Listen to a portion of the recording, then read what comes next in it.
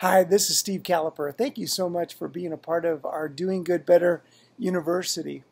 Um, now that we've gotten through 4th of July and um, the holiday week, um, I just wanted to encourage each of you as you're looking at summer. Um, certainly, we know that uh, in some parts of the country, summer already began in June, uh, but really, for the most part, um, I think of summer as July and August. And this is truly a remarkable time and a season to connect with people uh, on a friendly level, a very highly relational level. Um, let's put it this way um, let this be the earmark for a summer relationship campaign. By doing so, um, be thinking about creating uh, environments uh, to, to create um, an, an experience, uh, something that's shared, uh, that you can connect with a donor on a relational level.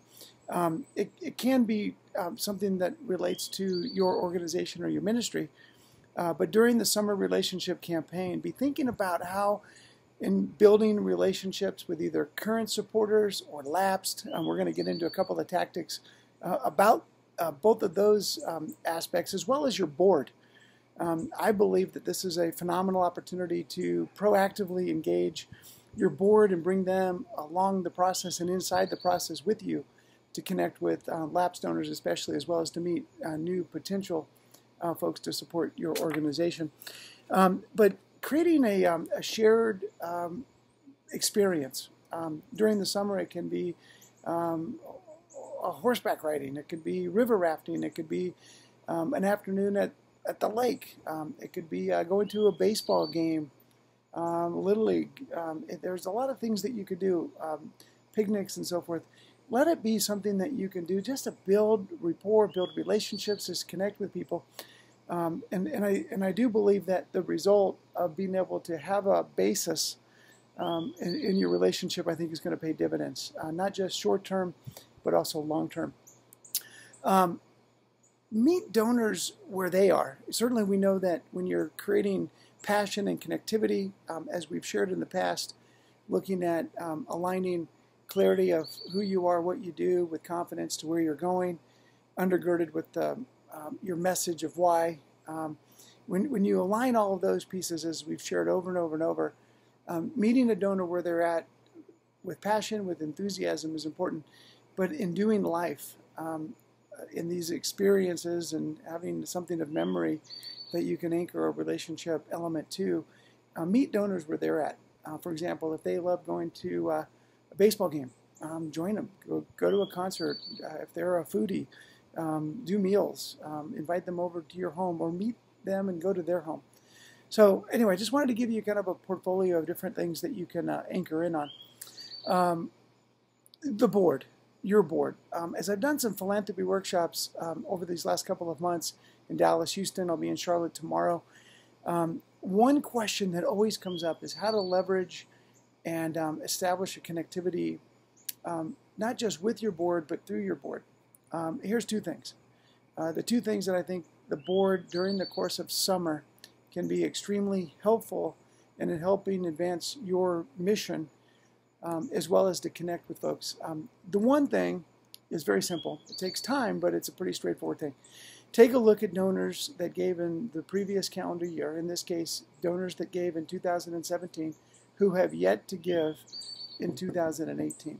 Um, create a, a specific week where your board can make calls to people that are not yet lapsed, but uh, haven't given yet this calendar year.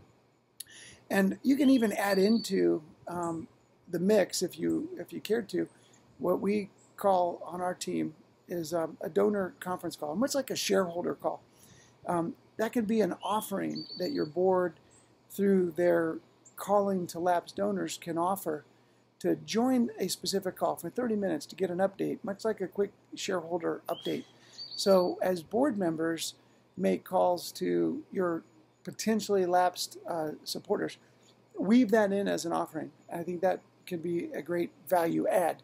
Um, the other aspect with your board is um, not necessarily just luncheons and gatherings and teeing up things for the fall as far as banquets, but um, if each of your board members, let's say on an average of um, an, an, organization, you have 10 board members on average, um, if each board member included you minimum of once to some type of a social gathering as the head of your organization uh, to that gathering, and they had six, eight, ten couples there. Uh, through the course of the summer, that would be 10 gatherings. Certainly, it would be a fun, festive uh, summer. Uh, but on the outset, you could potentially meet, the calculations are pretty straightforward, um, maybe 40, 50, 60 couples through the course of the summer.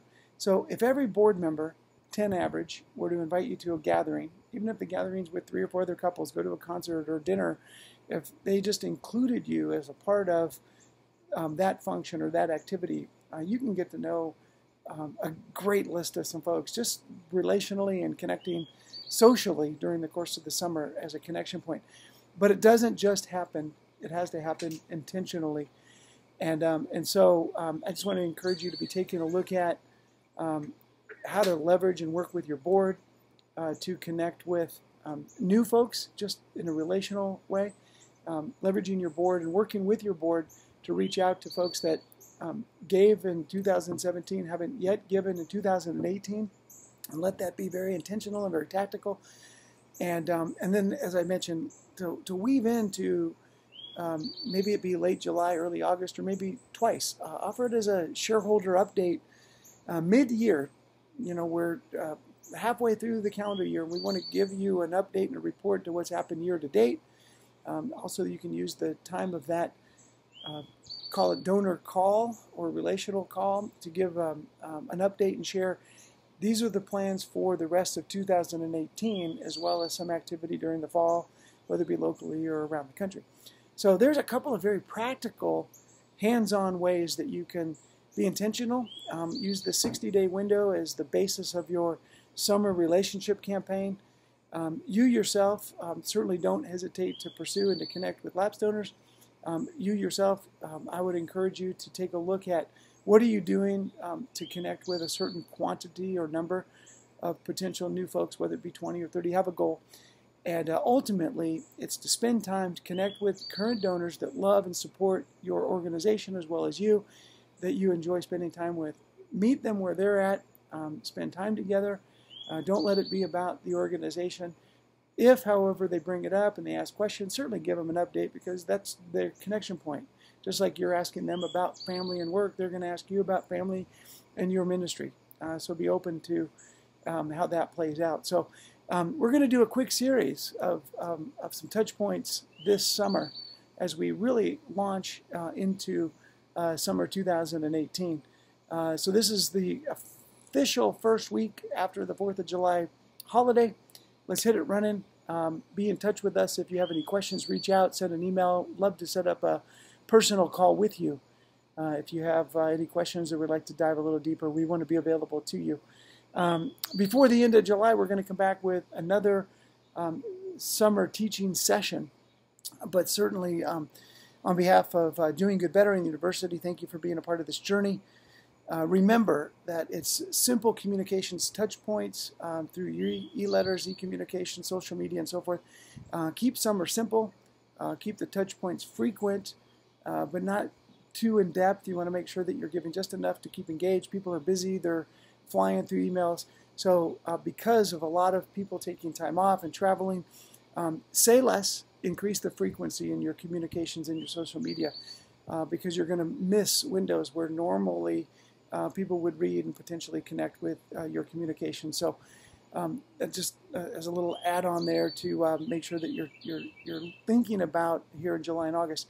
Uh, but to recap, um, be intentional through your board um, with folks that you want to connect with relationally, encourage them, challenge them, uh, meet donors where they're at, spend time socially, a whole portfolio of things that you could be doing together from uh, baseball games to concerts, music on the lawns, um, food truck deal, um, Sunday afternoon pool, um, you know, all the things that go with summer. But make summer and relationships fun, connect with people, and um, certainly your board. Uh, to recap again and to share is that if your board, 10 board members on average, if they were to invite you to a social function, and you could get to get, get to know four, six other couples, or if it was some type of other event, boy, boy, the, the, before the end of the summer, you could get to, to know potentially 40 or 50 uh, new couples that could really help harness you in your relational efforts.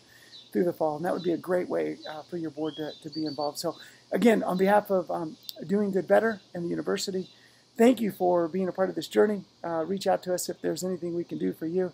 Um, have a great day. God bless, and thanks so much for all that you're doing to uh, make an advance on the kingdom uh, or in the ministry space of uh, whatever it is that you do. And um, thank you so much. God bless. Have a great day.